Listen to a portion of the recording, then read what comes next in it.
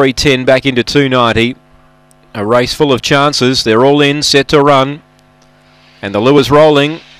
Race three, Strathalbyn. They're set away. Speed in the middle from Fabulous Lucy's going to lead by three lengths to Rusty Dreams. Confuzzled goes to second. Rusty Dreams back to third. Then Salute Bianca.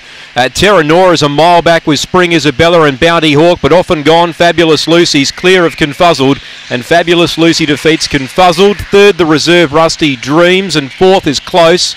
We had Terra Nora and Salute Bianca both running on. Spring Isabella and Bounty Hawk back amongst the tail enders and the time we await for.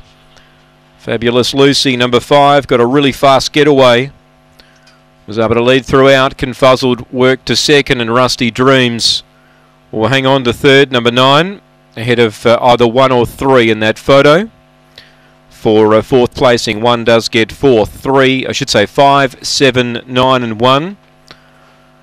Five, seven, nine, one here confirmed. 18 18 the time, four lengths by six and a quarter, four by six and a quarter. It's five, seven, nine, and one. Three gets fifth. Five, seven, nine, and one.